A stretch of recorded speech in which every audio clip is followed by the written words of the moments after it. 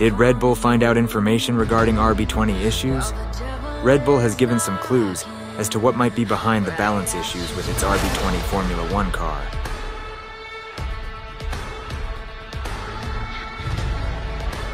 Red Bull have been quite open about needing to turn around the RB20's form quickly if they don't want to lose both of this year's Formula One titles.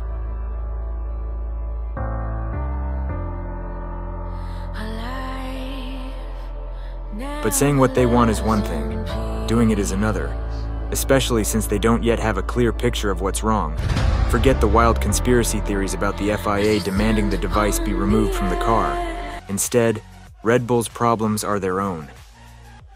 Speaking about the balance issues that have marred the car, Horner said, The front and rear are out of balance. We can see that. Our wind tunnel doesn't say that, but the track says that. So it becomes even more important because obviously when you have that, it means you can't trust your equipment. Then you have to go back to the track data and previous experience.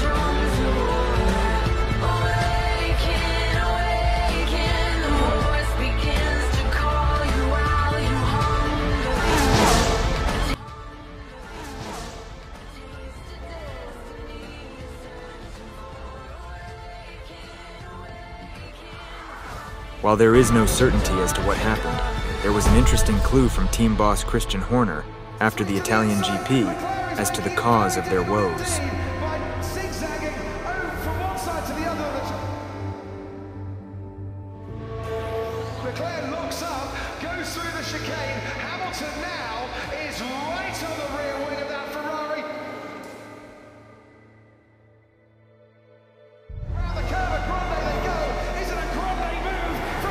So could a wind tunnel issue, something that may have only come to light in the last few weeks, be the cause of the problem?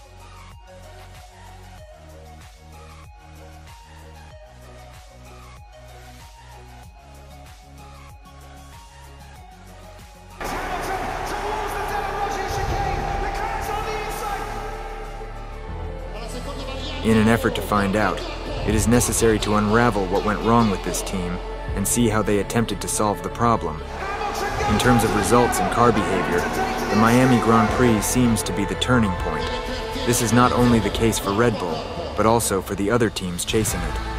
McLaren launched its first major update of the season, which catapulted it to victory and gave it a much better platform at every event.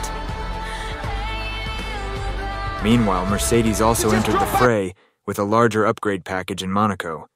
Ferrari had been on the front foot until around this time too, before running into problems in Canada and then struggling with the return of high-speed bounce at the Spanish GP. It was another example of a team finding that their simulation was saying one thing and the real car was saying another.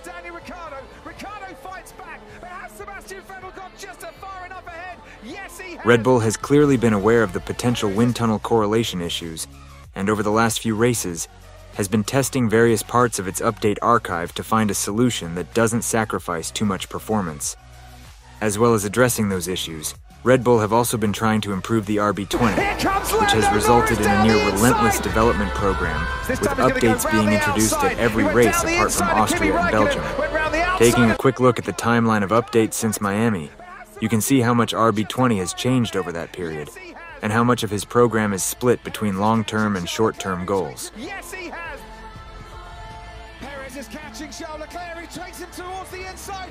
The scale of the change makes it clear that, if any one component has triggered the error, it will be very difficult to figure out what it is. For Red Bull, this seems to be new territory too, as it has not faced the problems its rivals have in the last three seasons. Its development success rate has always been relatively good, producing roughly what is expected. This means not only having to learn how to deal with current problems, but also needing to understand why they happened, so that they don't happen again in the future. The key now is figuring out which tools are reliable and trustworthy. As Horner put it, it's not unusual that if something goes wrong on the car, you'll get different readings from your simulation tools, and they don't agree. Then you've got three sets of data. You've got CFD, you've got wind tunnel, and you've got track.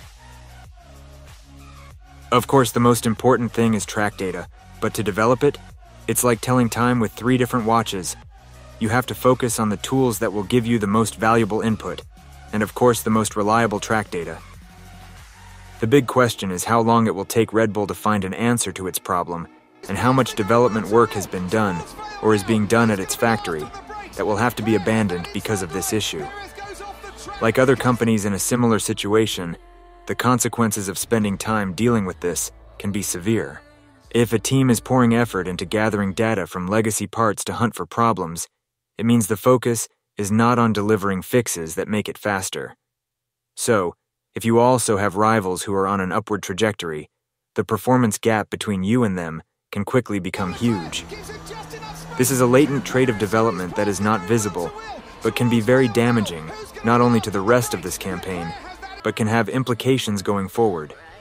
Another factor that has not received much attention is that F1 has gone through a stretch of the calendar where Pirelli has increased minimum tire pressures to suit the load characteristics of the circuits visited.